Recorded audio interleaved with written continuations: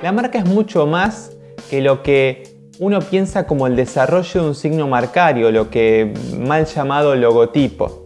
Es mucho más, tiene que ver con transmitir una experiencia, un concepto de marca. Es lo mismo tener una marca de venta offline física que una de venta online. La esencia de la marca en el ámbito offline y online debería ser la misma. Es más, si yo voy a un local, cualquiera sea el rubro, y después entro al sitio web, entro a las redes sociales, debería tener la misma experiencia. ¿Qué quiero decir con esto? La misma experiencia me refiero a que si el lugar es lujoso, eh, está pintado todo de negro, tiene una colorimetría similar, es lujoso, es elegante, es profesional, cuando ingreso a las redes sociales o cuando ingreso al sitio web debería ser igual. La experiencia que se comunica, el concepto de marca debería ser el mismo. Ahora, hay algunas diferencias. Ejemplo, las personas que visitan mi sitio web quizás no son exactamente las mismas que acceden a mi local físico. ¿Por qué les gusta el local físico?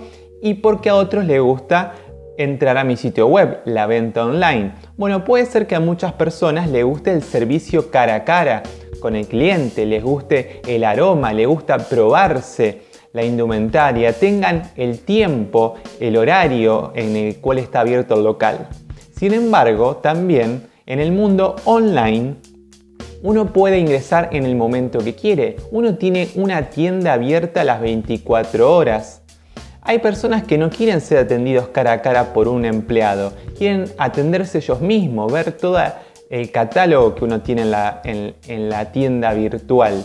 Y también es necesario saber manejar esa tecnología. Entonces, es muy posible que la gente más joven sea la que acceda a esa tecnología y la gente con eh, mayor educación también, porque hay que saber manejar esa tecnología. De todos modos, la experiencia de marca, el concepto, debería ser el mismo. La forma de hablarle a las personas debería ser la misma, pero hay ciertas cuestiones técnicas, por ejemplo, eh, cierta cantidad de caracteres o cierta longitud en un video que se pueden publicar en las redes sociales y otras cosas que se pueden hacer en el ámbito físico. De todos modos, como digo, la esencia debe ser la misma. Antes de tener una tienda online, un sitio web, es decir, tu marca en el mundo online, es muy importante saber si está preparada como marca para acceder a ese mundo online. Y déjenme, en este caso como diseñador, hablar un poquito del signo marcario. La tipografía de tu local, que ya tiene 5, 10, 15 años, ¿es adecuada para utilizar en las redes sociales? La familia tipográfica utilizada. ¿Tenés pensado si la colorimetría, es decir, la paleta cromática, los colores, sencillamente hablando, que utilizás en tu papelería, en la indumentaria, en tus locales, está unificada y eso lo podés pasar a las redes sociales?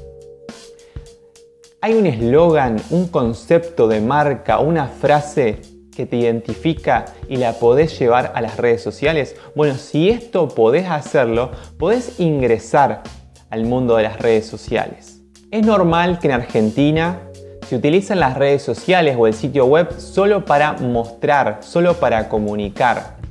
Y justamente eh, las redes sociales son todo lo opuesto. Las redes sociales llegaron para que haya una interacción entre el emisor, es decir, el empresario, la marca, el local, el emprendimiento y aquel usuario.